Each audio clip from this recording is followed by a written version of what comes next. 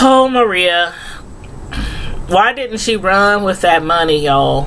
Why did she not run with that money? I was like, Maria, he gave you enough money to start your entire life over. You could move to anywhere you want.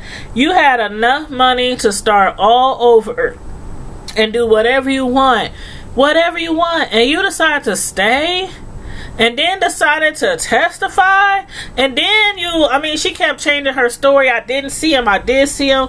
The uh the um what she say the scarf over her eyes slipped and she you know remembered who it looked like but it wasn't him. And i mean she's telling all these so basically Saxe was like you know what? When it's time for you to testify if you don't get this stuff together and keep it tight, they is not gonna believe nothing you saying up there on that um on that bench. They gonna believe nothing you saying while you up there being questioned. And he was right. He was right. She should have left. She had she would have left I would have left town without no money.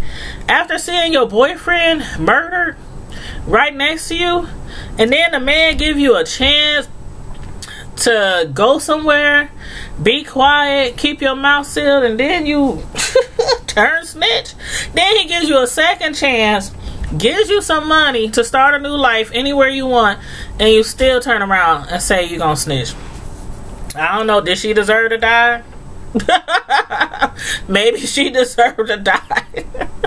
I don't know, y'all, but I thought um when uh excuse me, sorry. When um Proctor Mm-mm, this was so sad. Okay, now Proctor, I think, deserved to die. I feel sorry for his daughter. I really, really do. But hopefully, his cousin Benny will take her in, adopt her, you know, whatever he needs to do, be her foster parent, you know, whatever, you know, so that she don't have to go into foster care because now her mother and father is both dead. Um, he was wrong for what he did, letting her mother die like that when she was overdosing instead of calling 911 like she was begging him to do. She was like, "You ain't gonna." He was like, "You ain't gonna keep me from um from having custody of my daughter," and he just let her die. Just let her die. And then her, his daughter had no idea until she overheard him talking on the phone, and I mean talking to uh Benny, and she found out that her father was basically not responsible for her mother's death, but in a roundabout way, he pushed her to using the drugs. Remember the form that she had got in the mail saying that she did not pass the bar? He made that up he had typed up a letter, had it all typed up professionally, had it mailed to her and everything, told her she did not pass the bar. On top of that, he told her that he found a new woman that he works with and he's going to propose to her. He's like, You want to see the ring? You want to see the ring? She she lost it. She lost it. And she relapsed. And she relapsed all the way till death. Just, it took her out. It took her out.